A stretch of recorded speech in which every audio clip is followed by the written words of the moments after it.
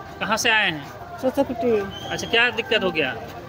Pension पोषण नहीं पाती है तो पेंशन नहीं बन रहा है? ना। जी सर। क्या क्या क्या शिकायत था? शिकायत सर बिजली दो दो बिजली आ रहा है। नाम जोड़ना है। अच्छा। तो अभी लिख रहे हैं हाँ, लिख रहे हैं। निर्देश पर ये जन शिकायत समाधान कार्यक्रम का आयोजन जो है वो किया गया है और ये आयोजन आगे भी होता रहेगा। जोहार नमस्कार। आप देख रहे हैं द झार न्यूज़ और मैं हूँ गुंजन कुमार। आज पुलिस ने सुनी आम लोगों की समस्या। बिल्कुल सही सुन रहे हैं आप। ये पूर्व निर्धारित कार्यक्रम थी। जो खूटी पुलिस द्वारा आयोजित किया गया था और इस कार्यक्रम में आज भारी संख्या में लोग पहुँचे भी और लोगों ने पुलिस के समक्ष अपनी शिकायतें दर्ज कराई। इस कार्यक्रम में चाहे पुलिस के खिलाफ ही क्यों न शिकायत हो, किसी अन्य विभाग, अन्य मामले को लेकर जो भी शिकायतें थी, उसे लोगों ने आज यहाँ दर्ज कराया। फ़िलहाल हम खूंटी के नगर भवन परिसर में हैं और यहाँ जो है खूंटी पुलिस द्वारा अलग अलग स्टॉल भी लगाया गया था अलग अलग थाना का। और इस स्टॉल पे आकर अलग अलग थाना क्षेत्रों से जो लोग आए थे, उन्होंने अपना शिकायत भी दर्ज कराया। पुलिस अधीक्षक अमन कुमार, वन पदाधिकारी, अनुमंडल पदाधिकारी सहित अन्य वरीय पदाधिकारी जो है, यहाँ आज कार्यक्रम में मौजूद रहे।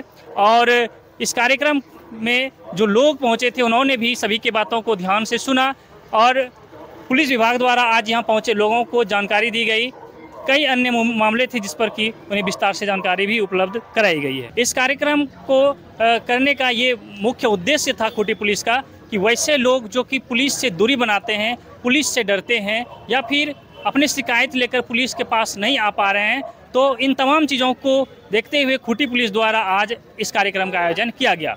इस तरफ़ हम आपको दिखा दे, पीछे दिखा देते हैं एक बार कि यहाँ जो है अलग अलग थाना क्षेत्रों के लिए अलग अलग टेबल लगाया गया था ताकि उस थाना क्षेत्र के लोग जो यहाँ पहुँचेंगे तो वो यहाँ आकर अपना शिकायत दर्ज करा सकते हैं। हालाँकि अभी पानी पड़ रहा था बरसात के, चलते ही इस टेबल पर जो भी पदाधिकारी बैठे थे उनको इस तरफ़ आना पड़ा और यहाँ काफ़ी संख्या में लोग भी पहुँचे थे तो सभी जो है इस भवन इस टाउन हॉल में जो है इस कार्यक्रम में पहुँचे हुए थे। हम एक बार दिखा देते हैं इधर कि देखिए अब भी लोगों की भीड़ है इसके सभी लोग यहाँ अपना अपना शिकायत लेकर पहुँचे हैं अपना अपना आवेदन जो है लिख रहे हैं तैयार कर रहे हैं ताकि यहाँ जो है दिया जा सके। हम एक बार पूछने का भी कोशिश करते हैं कि आप लोग शिकायत दर्ज कराने आए हैं? जी सर। क्या क्या क्या शिकायत था? शिकायत सर बिजली दो दो बिजली आ रहा है। हाँ। सभी मैंने ग्राम वासियों का मैंने दो दो करके बिल आ रहा है। कौन सा गाँव? सौ सौ कुटी अड़की प्रखंड। अच्छा। जी। तो क्या हुआ? शिकायत दर्ज करा दिए? हाँ करा दिए। रिसीविंग सब मिला कुछ? रिसीविंग नहीं लिए हैं। आप फ़ोन नंबर ले लिए हैं सर। फ़ोन करेंगे। क्या नाम है आपका? गुरुदयाल मुंडा। आप कहाँ से आए नानी? कहाँ से आए हैं? अच्छा क्या दिक्कत हो गया? पेंशन पोषण नहीं पाती है तो पेंशन नहीं बन रहा है? ना। पा पात रही अब। हाँ। छः साल नहीं पाई यार। छः साल से नहीं मिल रहा है। अच्छा अच्छा। तो आप इधर भी दिखा देते हैं एक बार। सुनिए ना एक मिनट एक मिनट। क्या लिख रहे हैं? ये राशन कार्ड में नाम जोड़ना है। अच्छा। हाँ। तो अभी लिख रहे हैं आवेदन हाँ लिख रहे हैं। कहाँ से आए हैं?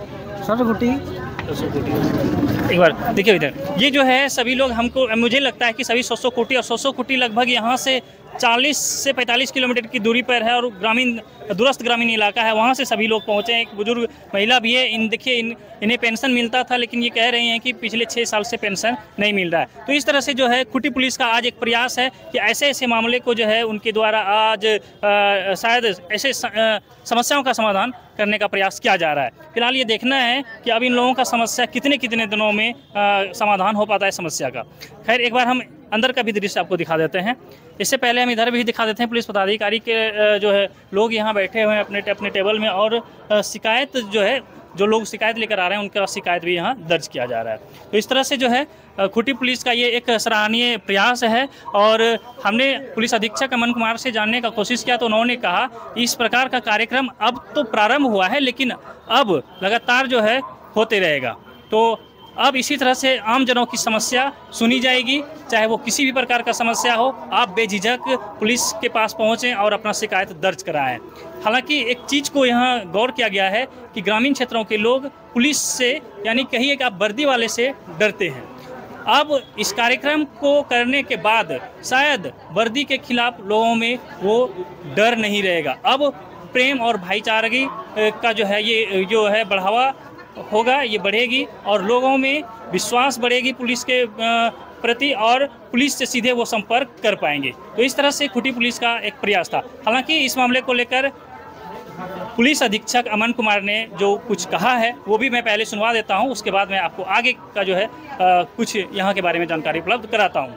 आज खूंटी जिला में इनफैक्ट राज्य के सभी जिलों में डीजीपी सर के निर्देश पर ये जन शिकायत समाधान कार्यक्रम का आयोजन जो है, वो किया गया है और ये आयोजन आगे भी होता रहेगा।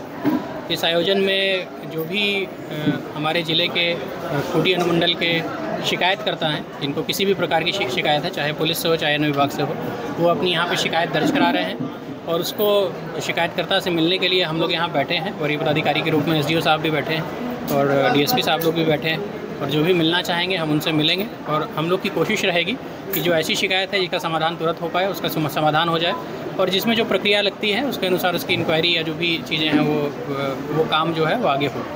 तो ये सक्सेसफुल रहा है हम लोग का प्रोग्राम हम लोगों ने जो जागरूकता, एक जागरूकता के पॉइंट्स थे हमारे, चाहे वो साइबर का हो, चाहे डायल वन वन टू का हो, चाहे डायन मिसाई को लेके हो, मानव तस्करी, अफीम को लेकर तो इन सभी मुद्दों पर हम लोगों ने चर्चा की लोगों के साथ। डीएफओ साहब डालसा की सेक्रेटरी मैडम एसडीओ साहब जैसे पदाधिकारी जो हैं, विभिन्न विभागों से भी थे और उन लोगों ने भी अपने विभाग के बारे में लोगों को बताया कि किस तरह की शिकायतें लोग लेके आते हैं उसका क्या समाधान है।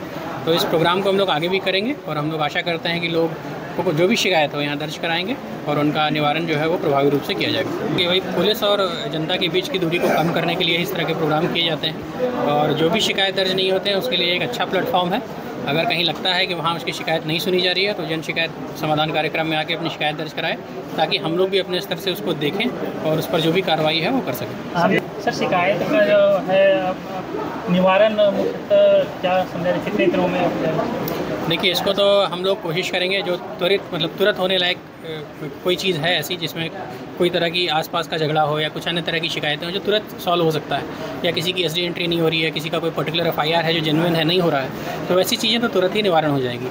और अगर कोई अन्य विभाग से संबंधित है तो उसको हम लोग संबंधित विभाग को भेजेंगे और वहाँ से फॉलो कराएँगे।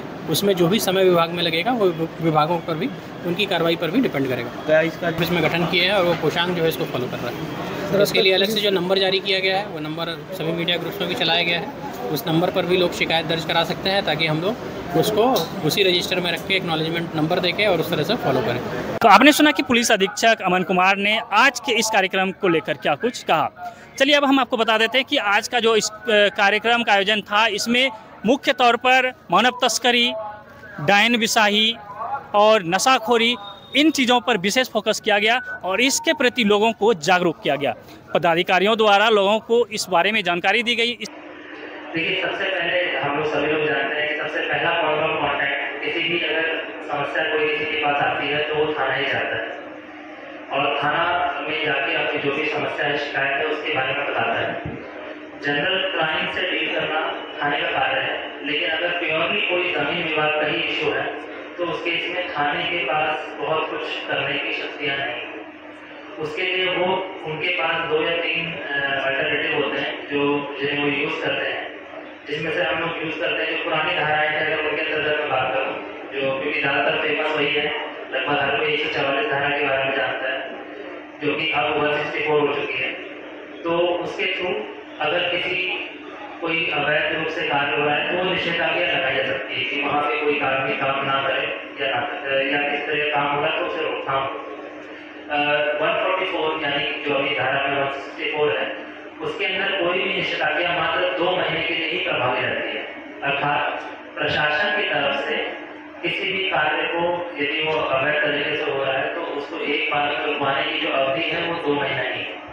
ये अपेक्षा की जाती है सभी लोगों से कि इस अवधि का प्रयोग करके वे या तो डीएलएस सचिव मैडम के यहाँ मेडिएशन के थ्रू मतलब मदस्ता के थ्रू उसका निवारण करें, या फिर हमारे यहाँ कोई प्रॉपर धारा के अंतर्गत केस दायर करें, या फिर सिविल कोर्ट में सिविल केस फ़ाइल करें।